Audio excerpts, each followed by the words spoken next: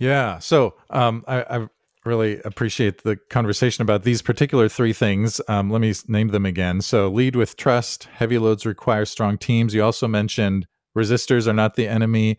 Uh, yeah. Than what they heard, not what they, not what you said. Not what you said, yeah. Uh, and uh, and of course there are some others. And then if we uh, you know work through all these different perspectives then we will be able to easily and perfectly lead change in our congregations. Yes? Yeah you, you know that's not true and i know that's not true. What i hope uh, is that it that someone who really um, internalized the 10 perspectives would make a few less mistakes mm-hmm. uh, and would be better uh, more adept at dealing with the challenges that come along. Uh, yeah. No, it's it's never going to be easy. Right. Um, right. But eh, but but if you make a few less mistakes and if you, you can, can handle the challenges a little more effectively, yeah. you're a lot farther down the road.